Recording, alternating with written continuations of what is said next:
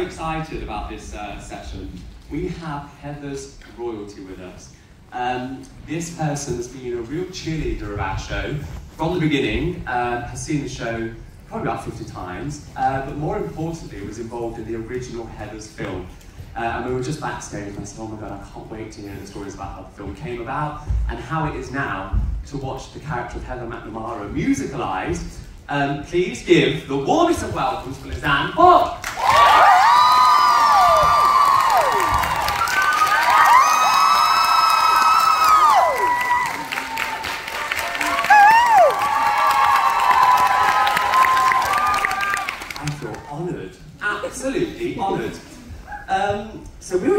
Discussing backstage. It was nearly 35 years ago.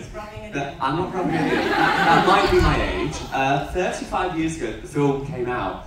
How wild is that that we are now sat here on the set of the musical after it running for five years here?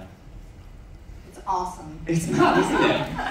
Um, yeah, definitely. Um, I mean, we made this small film. and The budget was under a million dollars, Wow. and we shot it in 30 days.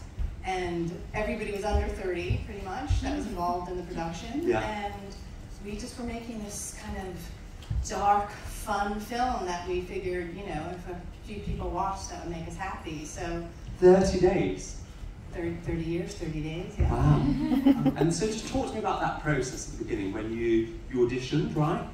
Yes, so um, Winona and Christian were cast Right. at the point, and they were casting for the Heathers. Ah. So my first audition, I had sides, which are just the scene that the character's in, and it was for Heather Chandler, because everybody was reading for Heather Chandler. I didn't know this. Really? No. Really tall. Yeah, so I was reading for Heather Chandler.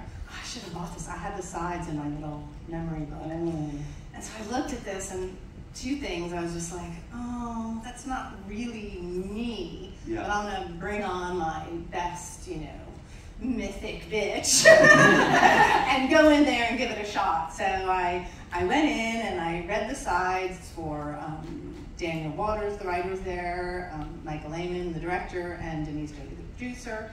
And I thought I did a good job, but you know, inside I kept feeling I'm always really good at casting other people in parts. But I would, I would cast this person, or I would cast that person.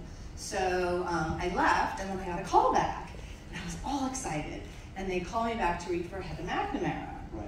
So this I could wrap my, my head around. And did they I- tell you the qualities of the character at this point? um, it was kind of a one, you know, Heather Chandler was the leader of the Heather. It was very one-liner, Right. one-liner, Yeah. because we didn't see scripts. Okay. And when I got to go back for Heather McNamara, I did get a script. And then it all kind of went like, whoa, mind blown. This movie's crazy. And did you Um, think it was crazy? I thought it was totally crazy. I mean, everything I generally auditioned for were after school specials, which were like pregnant teen and, you know, what are the parents going to do? Should I keep it? Will he marry me? Or, you know, Yeah. kind of uh, John Hughes movies, which were great, but were more like, is am I going to get See, a I date don't to does the anyone? John Hughes movies? You're all too young. So John Hughes, you must go home and watch. So Yes, Home Alone, Breakfast Club. Breakfast Club. Everyone in here is 18 years old. I can't bear it. So you must go home and watch John Hughes films. So Do you know there is a movie of Heathers? um, Just checking. before we go any further, just Yeah. we need to get it out there Okay. straight away. What was Winona Ryder like?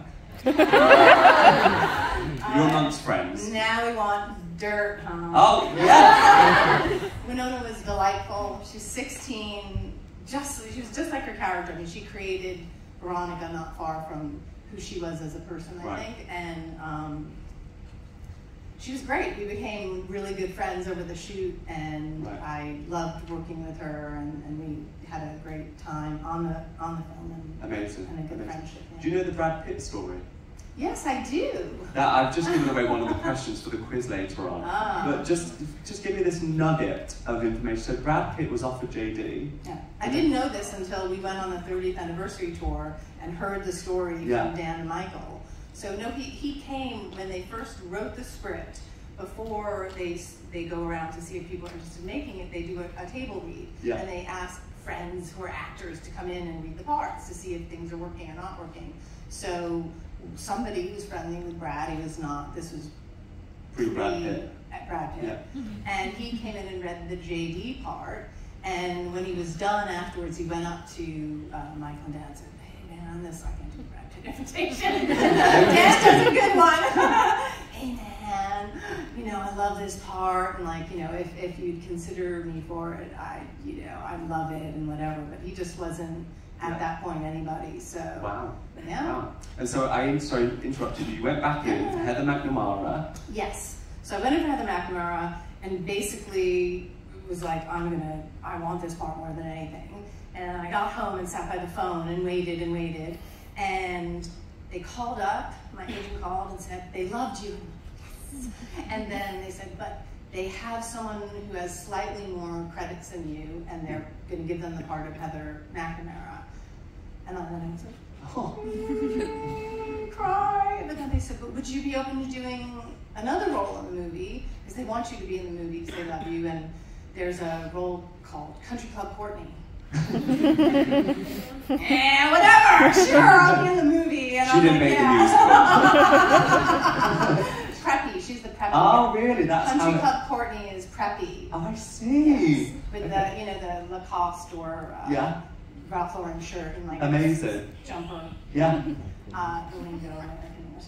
So I was like, you know? I just want to be in this movie. I want to work with these people. Every job is an opportunity. I'm in. Three days later, the girl they wanted dropped out. We do have the McNamara. Wow. and the rest See? is history. So it pays to just The world has know, a weird way of working itself out. Where, where did she go? Um, Do we know? The one that was originally playing. The, the, Country Club the one that was originally playing Heather McNamara. Okay, well, uh, Heather McNamara, I, I think it always gets clouded. We all have different versions of what we heard. Um, imagine that. But there was an actress named Danielle von Zerneck, Right. and I believe she's married to one of the Pogues.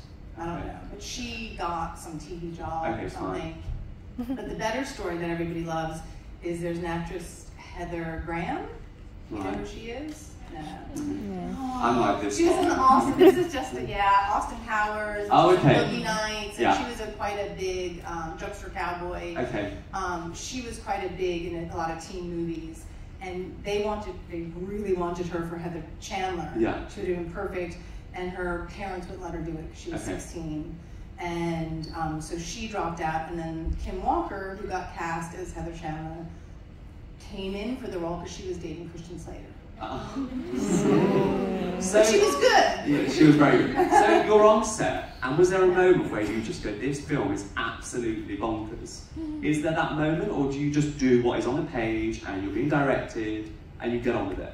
Or was there a moment where you thought, 35 years later, I'm going to be sat on the stage talking about the cultness of this this story? Okay, no, I didn't get him. In 30, uh, with, with 35 years from then, I was like, I'd be some old person in a wheelchair. so I, I don't think any of us, I, I think we were just there and present and going, we all felt this excitement in the air. It was moving, everything was moving really quick, Mm. so it wasn't time to have tons of fun, like um, hanging out stuff, because they were, we were just moving through the scenes. But there was definitely an energy, and every time when we were doing lines, we would be cracking up and going, Yeah. oh my God, this is too much, and we Yeah. have to straighten up and you know redeliver. So I mean, I think we all felt the energy, but the truth is, which I don't know, you probably know this. The movie came out. We shot in 1988. It came out in March of 1989, and the company that was distributing it went bust, and they didn't put any money into the promotion of it. So it was in the theaters for about a week, Mm. and then it just kind of went. It got decent reviews, and some people loved it. Other people were horrified. Oh my God, what are they thinking? Yeah. You know, how could they make a movie like this? Um, and basically, what happened? It's a slow burn. So in the '90s, there was a thing called a VHS, and you watched a DVD. That's a tape player, everyone. this really is like a history lesson. Um, Tapes. tapes. Uh, so at the video stores, the people who worked there, the video clerks, um, there's a movie about that. I It's really remember. good. I actually remember. Was it D? D Blockbuster. Blockbuster. That was it. Blockbuster was taken over by Netflix. And then we know that story. Yeah. So Blockbuster Video, which was huge, the, the people who worked in the shops would put little tags on their favorite films. And somehow, through word of mouth, people started Mm. seeing the movie, and it became this kind of VHS. It's so interesting because the musical theatre geek in me, I, I look at um, titles of films, Right. and sometimes the more subversive titles, such as Heathers, um, I'll use a few more examples. Kinky Boots Yeah, wasn't yeah. necessarily a Yeah, massive, massive film. Yeah. Billy Elliot wasn't massive. Um, those are the ones that actually go on to have lives on stages which live beyond the film sometimes. And sometimes those um, titles which are slightly more heavy-handed in terms of the translation from film to stage don't work. Yeah. And it's actually the more, dare I use the word, but indie films that actually live longer. Um, we've got some questions. We've got some questions. Um, this is from Molly. How does it feel knowing that a film you starred in over 35 years ago, nearly 35, sorry, 35. um, still has such a huge impact on a massive fan base?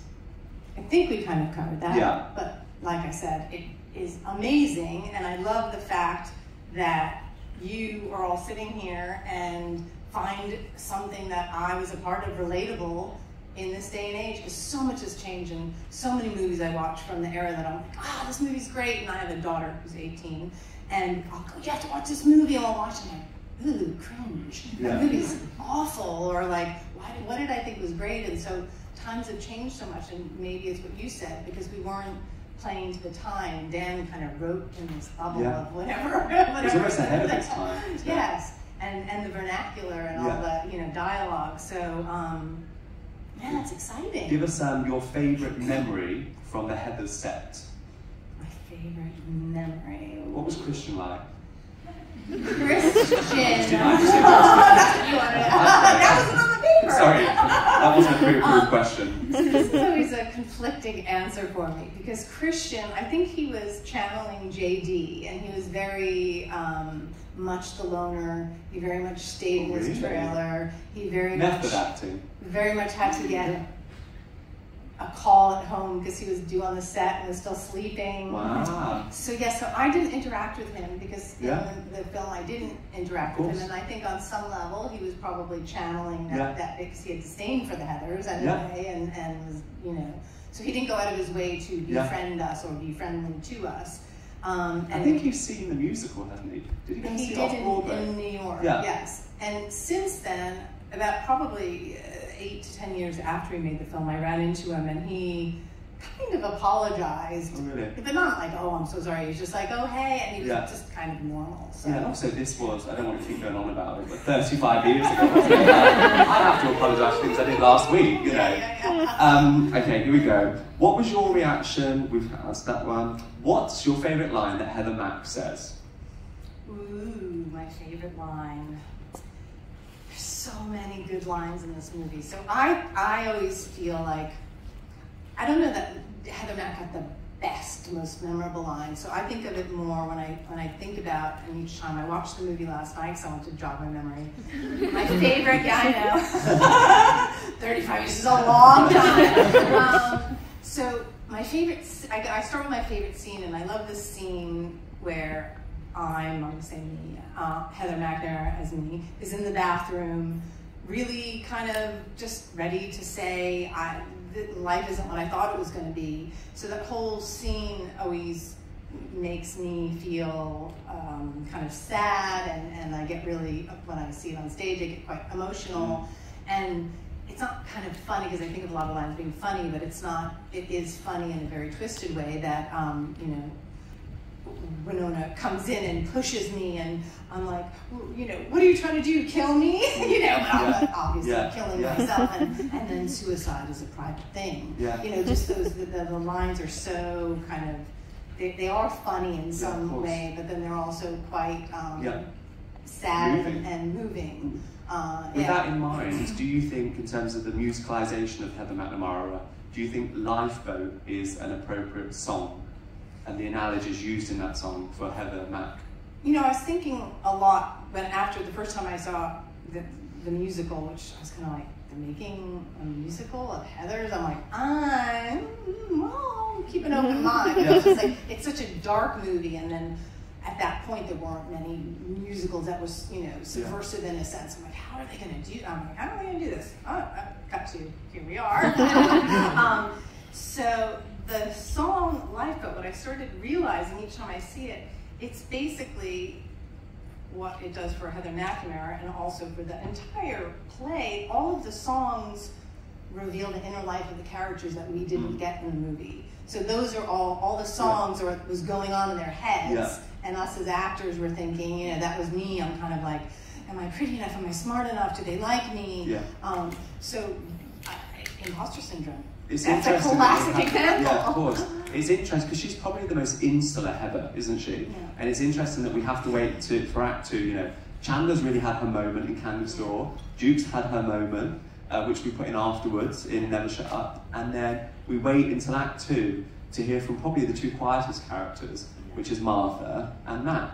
Yeah. Um, and it almost ties a nice neat bow in their journeys. Yeah. Um, right, let's have a couple more. I love this, this is juicy. Um, if you could make one change to McNamara in the musical, what would you change? No one record this.